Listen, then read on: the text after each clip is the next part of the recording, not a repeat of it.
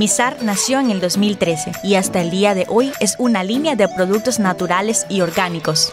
Misar nace de una gran oportunidad porque a nivel internacional lo que es la cosmética natural y orgánica y botánica eh, tiene un gran auge eh, porque el cuidado de la piel ahora es más se ha demostrado pues de que todos los químicos también pueden ser absorbidos por medio de la piel.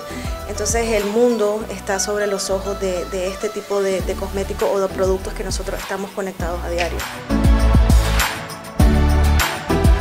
Las esencias han despertado el interés ya que resulta llamativo por su amplia variedad de aromas. La creadora de Misar nos cuenta cómo inició este negocio y qué la motivó a proyectar la marca. Surgió la oportunidad cuando ganamos el Premio de Innovación y Ciencia en el 2014, que es promovido por la vicepresidencia. Ganamos primer lugar con, la eh, diversificación agroindustrial para la cosmética natural y orgánica.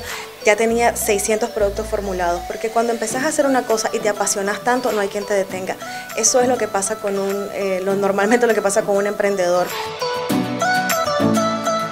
Desde su casa realiza su trabajo en cuanto al diseño y estilo se refiere. Bueno, estamos posicionando como casa diseñadora de cosméticos y fragancias. Somos la primera casa diseñadora. Nos contratan empresas importantes para diseñarle ya sea un aroma o un cosmético para su spa. Entonces los olores no son aromas, sino recuerdos que estamos desarrollando durante el tiempo. Y a eso es lo que nos dedicamos. Misar es elaborado por un pequeño grupo y empresas que hacen posible que este producto sea de calidad.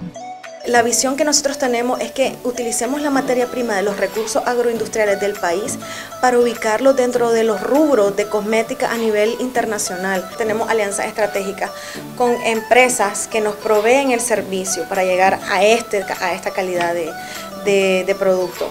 Invito a las personas que no nos conocen a que vayan a Misar Organic Beauty o Misar Skincare, arroba Misar Skincare en las redes sociales.